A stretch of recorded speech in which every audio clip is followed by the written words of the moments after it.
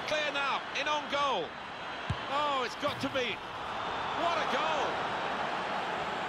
Well, if you look back through the archives, you'll see that this player has scored quite a few from these kind of distances, and it is an act